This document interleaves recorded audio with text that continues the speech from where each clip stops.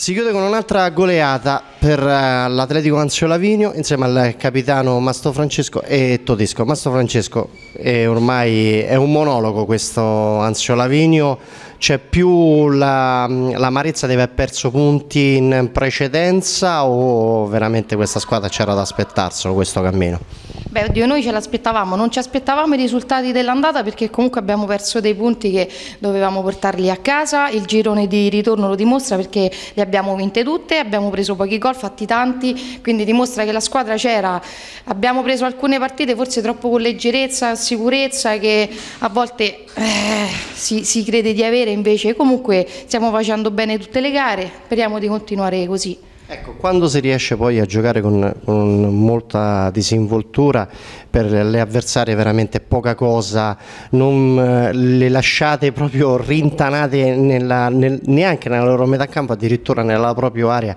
e quindi farle, farle oltrepassare quei metri diventa per loro difficile. Beh, è normale che quando comunque si va sul eh, tanti gol giochi con più sicurezza, tutte le cose riescono, c'è facilità, tranquillità, quindi diciamo che è tutto più semplice semplice, quindi la sicurezza viene e lì non hai più niente da perdere e te la giochi tutta e le vai a prendere alte. Quando ci prendono queste partite veramente non ce n'è per nessuno.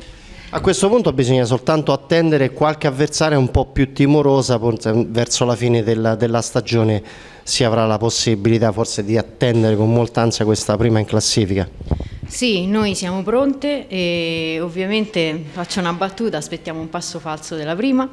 perché adesso abbiamo recuperato oggi questa partita, quindi avevamo una partita in meno e siamo eh, comunque molto vicini alla prima e ovviamente così dovremmo essere a 5 punti, no Marzia? Dalla prima,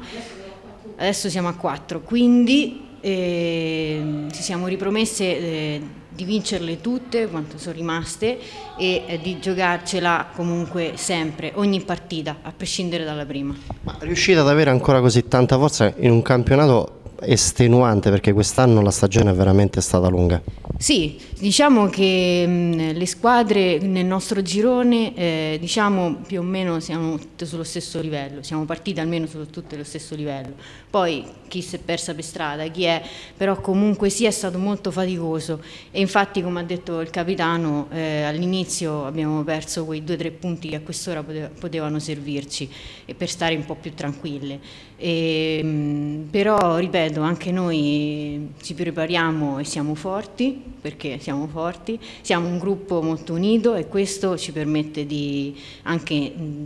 sul campo di dimostrarlo. Ecco, un concetto gogliardio da parte della Todisco, ma eh, non proprio un'analisi del campionato perché ancora manca circa un mesetto, poi c'è la fase quella che riguarda un po' la Coppa. Veramente ci sono state queste squadre che eh, meritano la posizione in classifica o anche il fatto di questa squadra ritirata ha, messo, ha un po' cambiato l'atteggiamento di questo campionato? No, beh, io penso che la squadra che si sia ritirata sia con tutto rispetto comunque influente perché chi deve stare nella classifica alta ci sta, secondo me è una classifica più o meno veritiera, nel senso che chi sta lì se lo merita, sono, abbiamo incontrato belle squadre che come noi sanno difendere, sanno attaccare, quindi secondo me è una classifica veritiera. Non, non, per noi perché comunque veramente abbiamo perso punti, però insomma un bel campionato, le squadre stanno al posto dove devono stare.